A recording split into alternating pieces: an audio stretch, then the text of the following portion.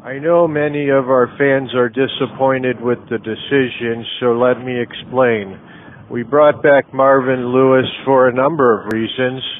I understand that we have had our differences in the past, our trials and tribulations, but like many married couples, we work through our differences instead of running to the courthouse to file a divorce or legal separation.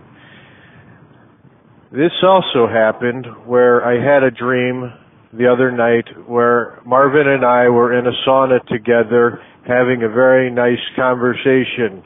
It was much warmer than here in Cincinnati.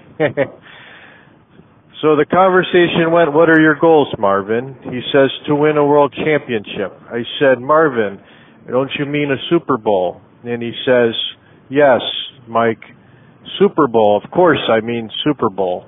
And I thought, this is a guy that has the same goals as I do to win a title or a Lombardi.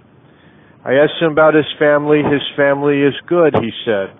Marvin is a good guy and an excellent football mind, and I am happy to bring him back for at least another two years and hopefully more to lead the Cincinnati Bengals to a world championship Super Bowl title belt.